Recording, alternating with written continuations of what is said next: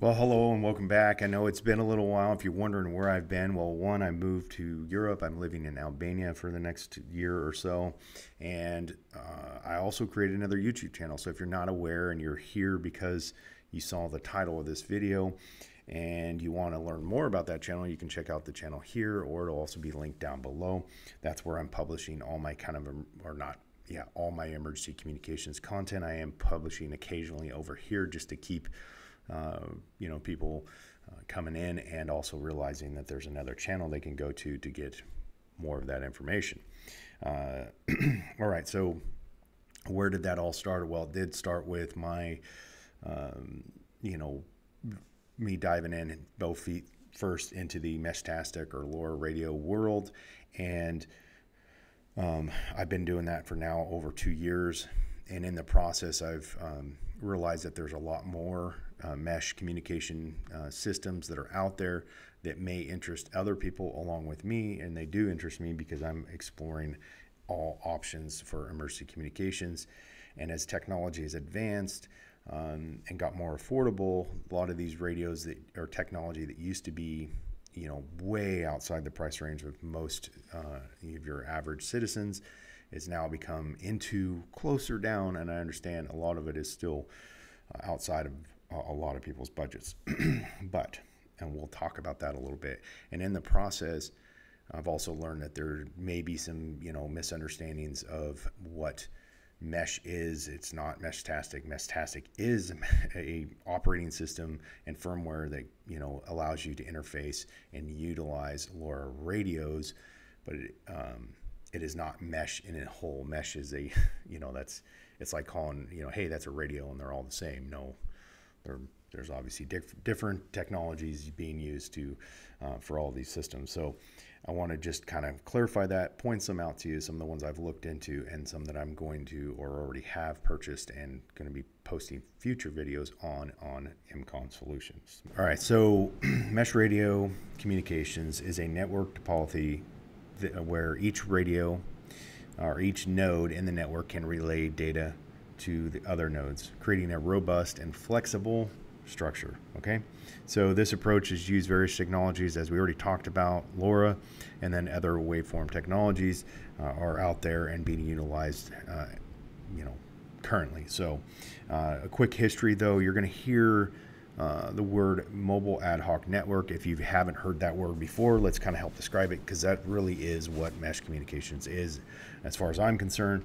So uh, it's most people say it kind of started with DARPA uh, developing packet radio back in the 70s. In the 90s, we moved into like uh, wireless networks, you know, Wi-Fi, and uh, and that's also kind of in the 90s, mid 90s when the U.S. Army started using mobile ad hoc networks uh, for uh, communications.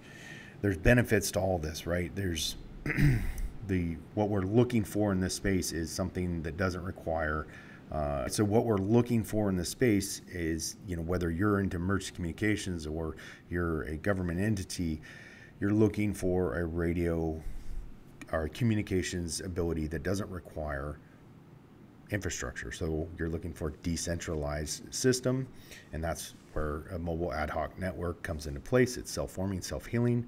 Does that sound familiar? Very similar to, or LoRa has that capability, and so do all these other ones. Wireless networks, same thing, and they're autonomous, meaning they had the capability to understand a lot of these radios are multi-band they can shift bands they you know using some of their modulation techniques they're you know figuring out the radio is figuring out where it's getting you know more res, more interference or or um, reflection and understand hey it'll automatically make adjustments to try to optimize uh, its communications capabilities keeping those nodes connected to each other. You lose one node and it figures out where the next closest node is keeping that network entangled right? And can and talking or communi- communicating um, so modern uh, MANETs or mobile ad hoc networks uh, are typically very advanced and they're using software defined radios.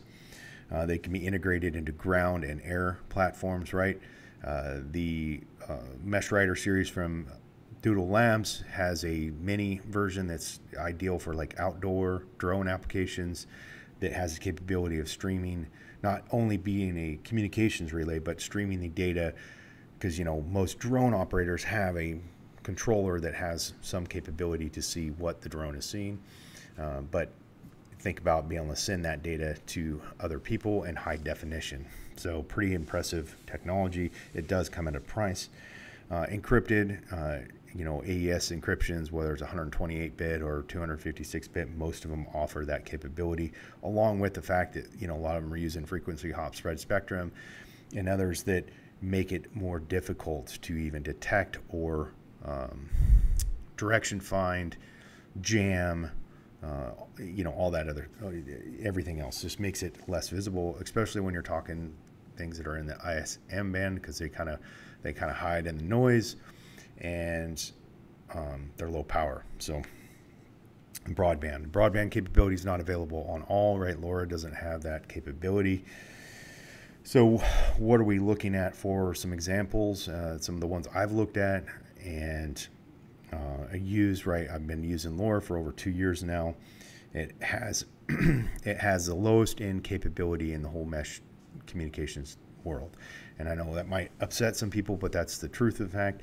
You're not going to get a highly capable mesh radio for, you know, 30 to 50 dollars. That it's just it's just not the case. You no matter how cheap it's being manufactured in China, you're not going to get a very capable mesh radio for that price. It's the same thing if like you're an amateur radio guy you know, you get your Baofeng. It has limited. It's a basic radio. It doesn't have a whole lot of features. Um, you want a digital mobile radio, you're going to pay significantly more uh, than you would for a Baofeng. So, just I know I said that's going to upset some people, but it's the truth. so, Beartooth Mark II. Well, interesting story about Beartooth. So, Beartooth and Gotenna both I've noticed both of them started in the space uh, with their like earlier versions to catered or marketed specifically to the private outdoor enthusiasts, you know, whatever. They weren't marketing them to a government or commercial sector, business sector.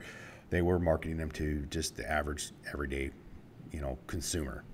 So and they just didn't get the buy-in that they wanted. They didn't get the market demand that they thought they would get, and therefore they their later versions, like with the Mark II, it is catered more towards a government sector or business sector, professional sector that has a a better radio budget than maybe your average, you know, Joe citizen. So.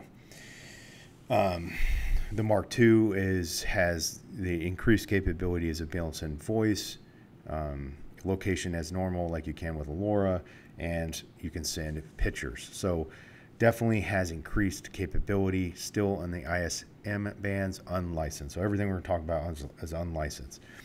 The Gotenna Pro uh, 2X is their latest version. It is not available for purchase as far as I can find. I did send them an email a couple weeks back and still haven't gotten a response because I was looking for a price point on those. But they switched from they originally were only using the MURS bands. Now they have UHF bands also. Um, pretty interesting stuff, but definitely being marketed towards the military sector or law enforcement sector. I'm sure the price point on them is going to be quite a bit higher, but the technology in them is quite a bit more advanced than the original um, out there that were being sold to just you know hikers and you know backpackers and things like that. So the last example I'll provide you, and is the last radio I looked into, was the Mesh Rider series from Doodle Labs. This is the most expensive radio in that I have currently looked at, and however, I'm going to say that it is with the its capability, it is way more affordable than some of the government sector only radios, ones that have you know only work in bands that are that can be used by you know law enforcement, military, and so on and so forth. Those ones that are those frequency bands that have been locked out for just the average person using, whether you got an amateur radio license or not, it doesn't matter. Those are for um, military law enforcement type frequencies. um, those radios are, you know, you're talking some that are you know well over ten thousand dollars a radio. These radios are $2,000 a piece with all the accessories, which is, I'm sure, it's outside of my radio budget, that's for sure. And um, it's going to be outside of most. However, once again, capability is it a capability you need?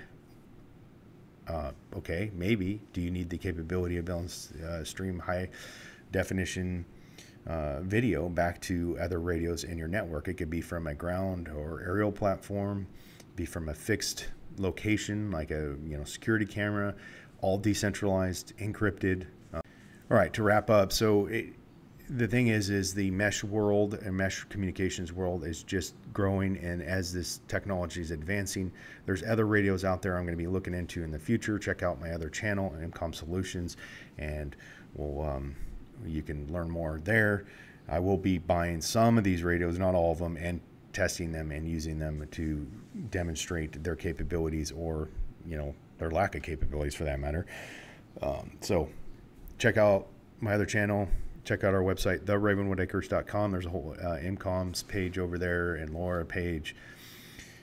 Social media links down below. Stay tuned for more great videos. Don't forget to subscribe, like, and have a great day.